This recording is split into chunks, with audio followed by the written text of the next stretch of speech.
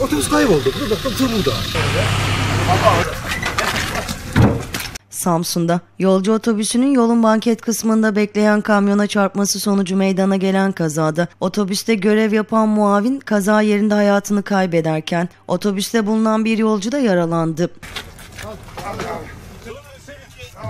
Samsun'un Kavak ilçesi Samsun-Ankara Karayolu 34. kilometresi tekke mevkisinde gece meydana gelen kazada edinilen bilgiye göre Mustafa Karaağaç idaresindeki Ankara-Samsun seferi yapan yolcu otobüsü yolun banket kısmında park halindeki Mehmet Pastacı'ya ait olan kamyona çarptı. Çarpmanın etkisiyle savrulan yolcu otobüsü orta refüj bariyerlerine çarptı. Ben otobüs geçti. Otobüs kayboldu.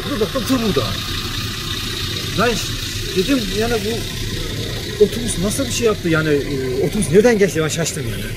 Kazada otobüste görev yapan muavin Ramazan Turan olay yerinde hayatını kaybederken otobüsteki yolculardan Göksu Turan yaralandı.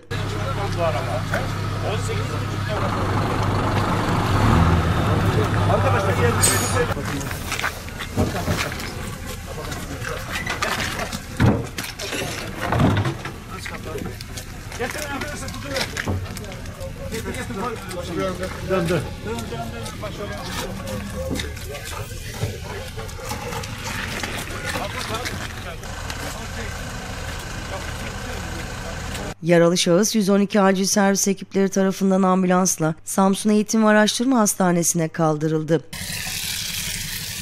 Kazayla ilgili soruşturma başlatıldı.